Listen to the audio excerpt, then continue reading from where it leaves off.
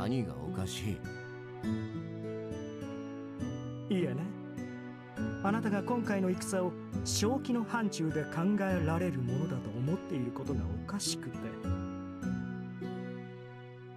は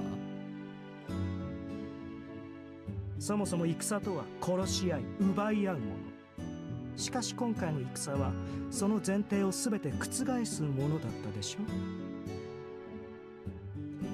何せできるだけ敵を殺さず無傷で女を奪えというのが陛下のご命令でしたから。これは正気のみで乗り越えられると本気で思っているのですかスレン？失礼を承知で申し上げればこんな戦はまさしく狂気の沙汰ですよ。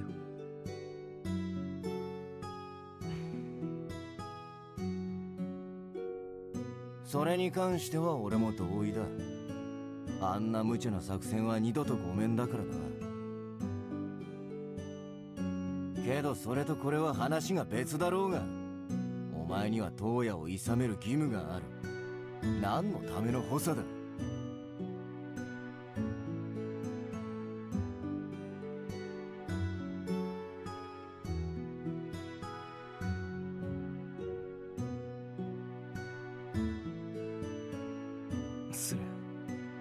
ちはわかるがその件ではノールを責めないでくれ。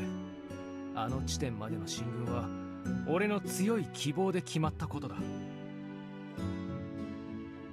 お前が王でなかったらぶん殴ってるところだ。お前には精霊の血を持つ唯一のものという自覚が足りなすぎる。今お前が倒れれば精霊信仰で補われている部分が崩れ国が崩壊するのは分かりきってるだろいいやわからないな。何？俺たちは不死という時代の転換点に立っている。いつまでも精霊の血などというものにこだわっていてはそれこそ国の崩壊を招く。今必要なのは信仰ではない。代表は事態を正しく解決に導けるものでありさえすればいい。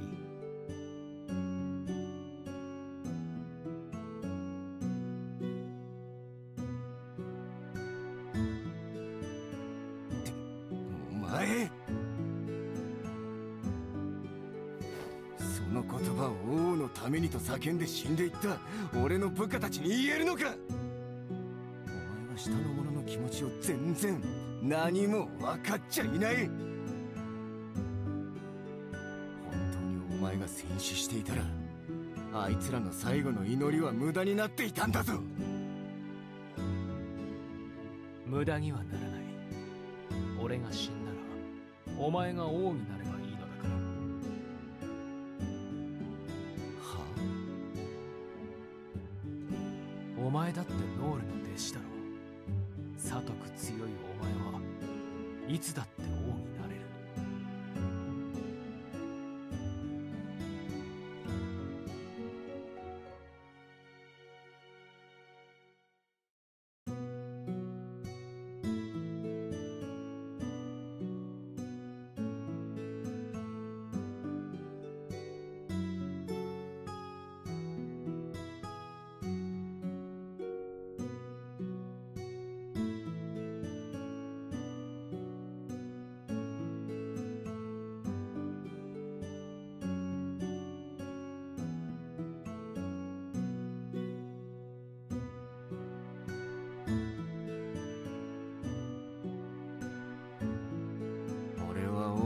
器じゃない。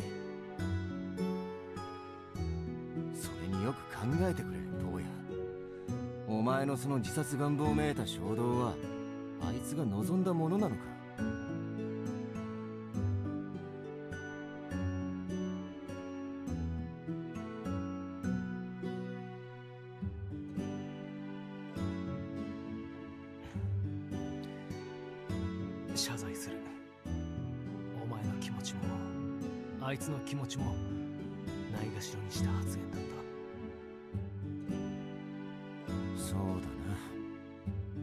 そうだなと言ってもお前はその考えから抜け出せないだろうから。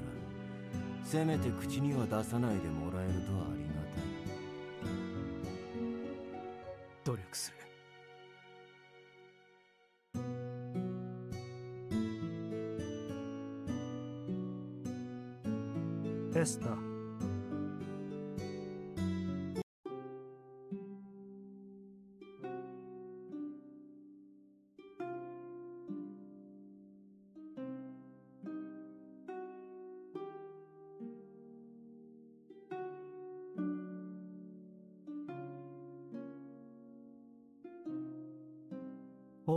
を。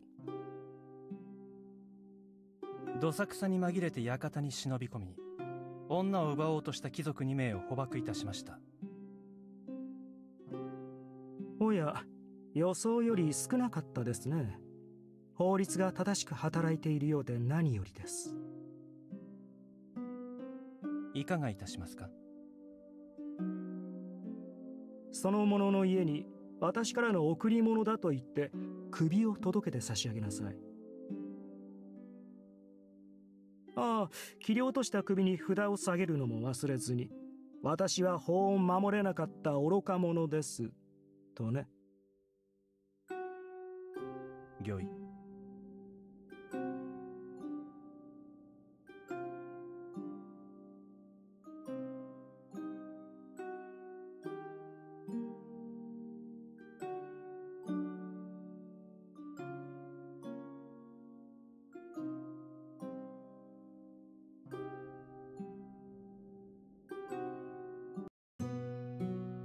のか。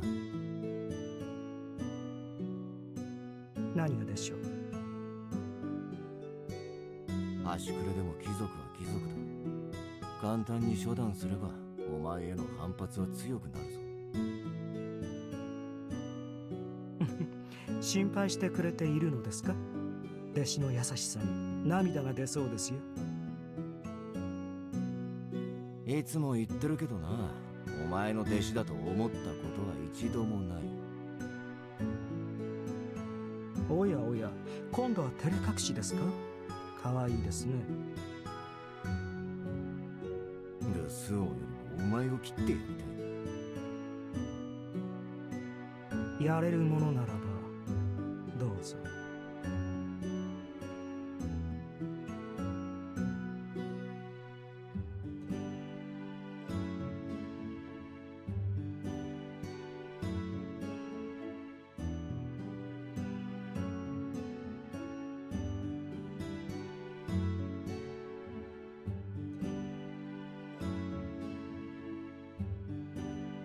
それはそうとちゃんと私からのことづては受け取っているのでしょうね。こんなところに来る前に準備をするべきではありませんか？たかが女たちのところに向かうだけだろ何の準備が必要だって言うんだ。やれやれ。これだから女心のわからない愚か者は。戦の誇りがついた体で現れては惚れてくれる女人はいませんよ。誇りなんか気にする繊細な女に用はねえよ。それにもう狙いは定めてる。ほう珍しいですね。もう気になる女性が？ああ部下からの報告でちょっと気になる女ができてなスレン重々言っていることだがくれぐれも女に無体を働くことがないようにな。相手がお前でも法を犯せば咎めねばならない。分かってる分かってる。それは分かっていない時の返事だ。良いですかスレン態度の方はともかく集合の時間は必ず守ってください。ことつてにもあった通り噴水が止まる時刻ですよ。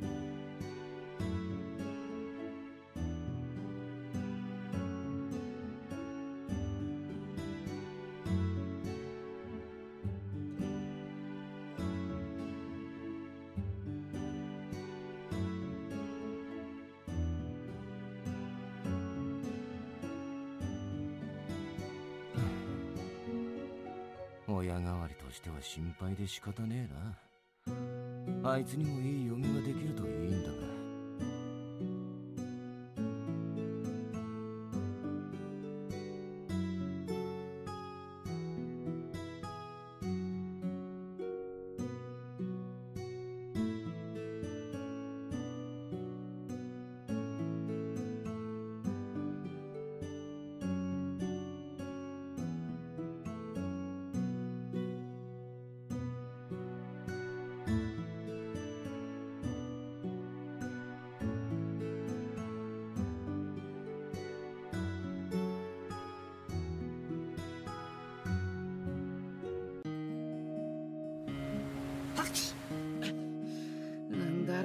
噂されてるのかな？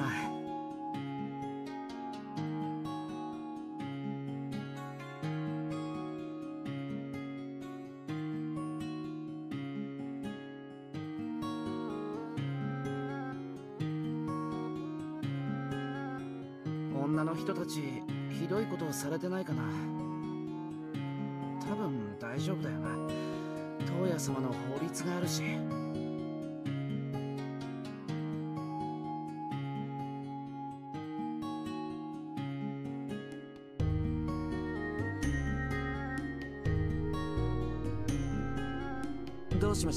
ナラン君どこか痛むんですか？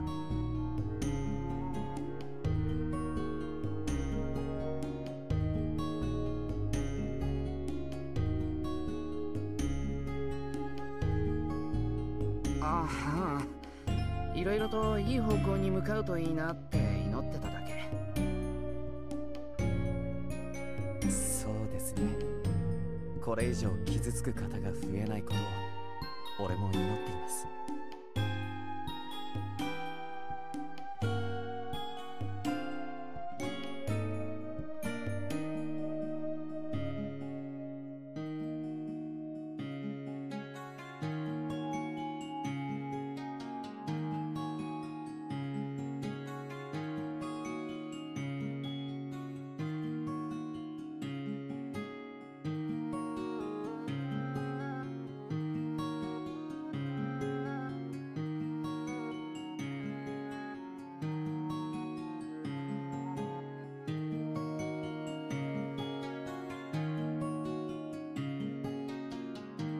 ナラン君はどうして城に？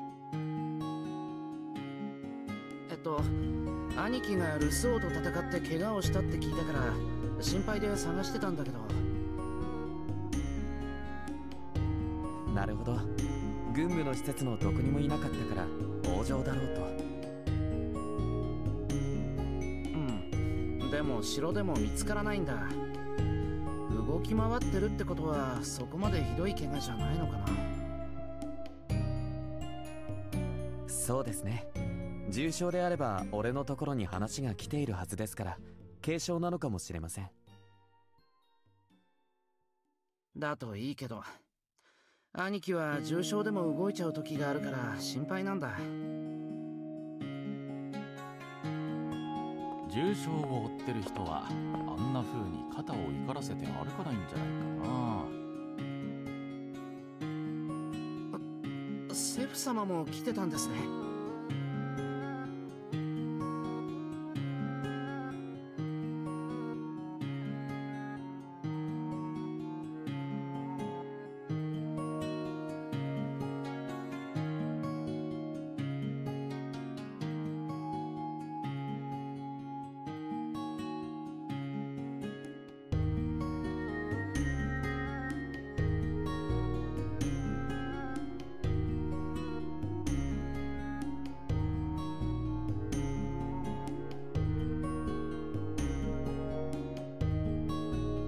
フ様は兄貴を見たんですか？ああ遠目にだけどね。なんだか随分と怒ってるみたいだったよ。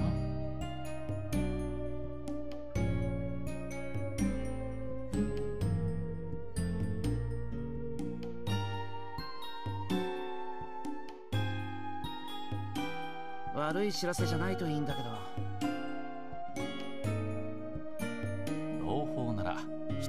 噂話で聞いたよ。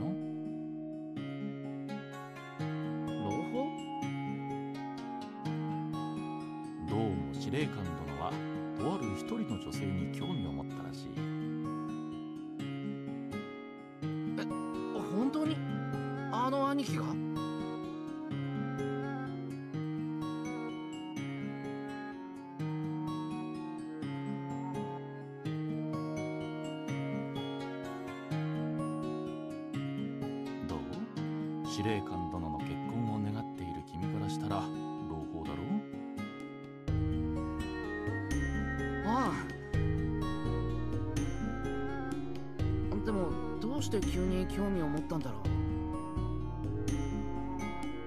何でもスレン殿の部下を数名治療院送りにしたらしいよ。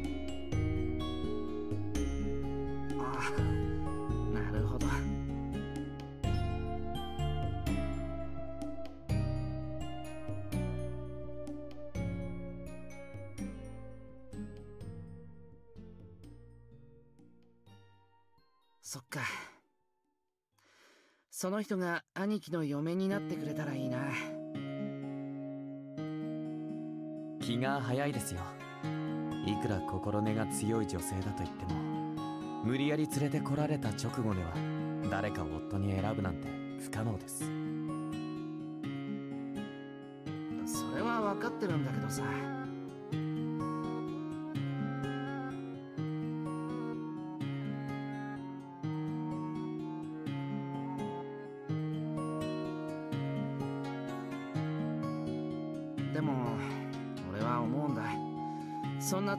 女の人が嫁になってくれたらきっと兄貴も心強い。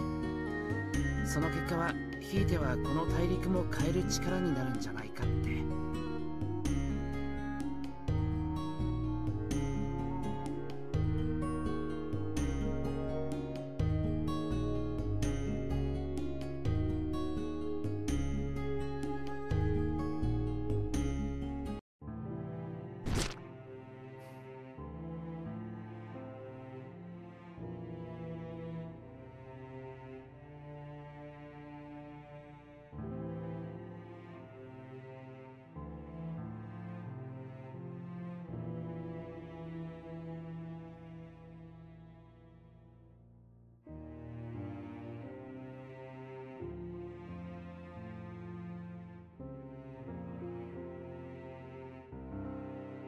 終わりました。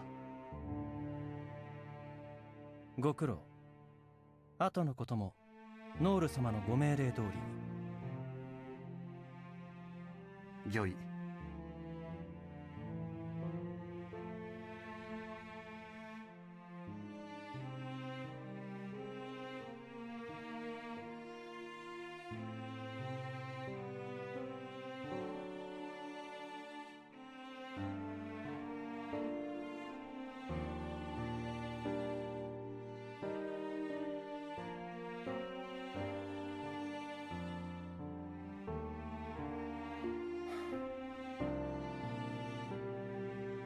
エスタ様。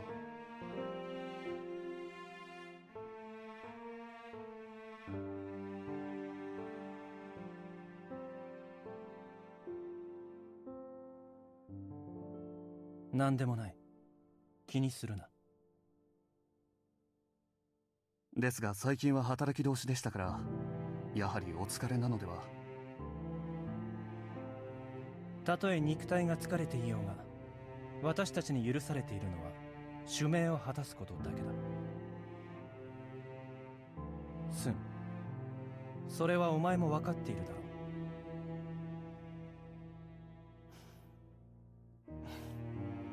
う。はい。では後のことは任せた。私は次の任務に出なければいけないあの陛下と戦ったとかいう女性の監視ですか？そうだがそれがどうかしたか。何もエスタ様が直々に赴かれる必要はないのでは？万が一にも傷つくことのないようお守りしろ。というノール様のご命令だ。仕方ないだろうノール様がそこまで。一体どういった方なのでしょうか？今は気にするな。時期が来れば暗部全体に知らされるだろう。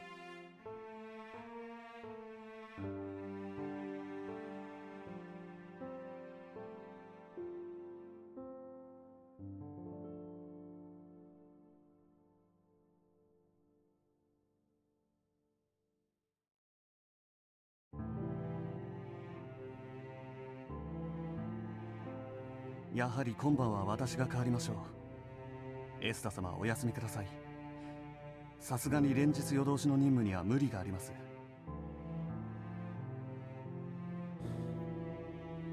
お前は優しいな。は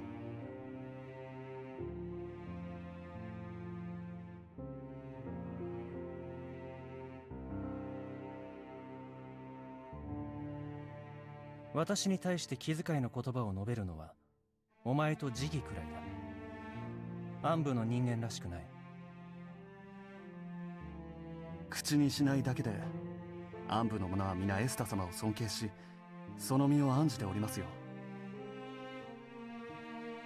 あなたの突出した能力だけは替えがいない。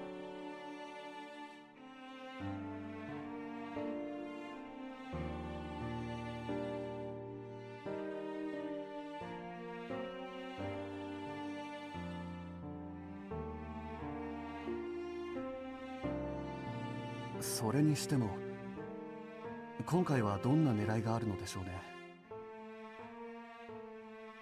考えるだけ無駄だ。私たちはただの駒なのだから。そうですね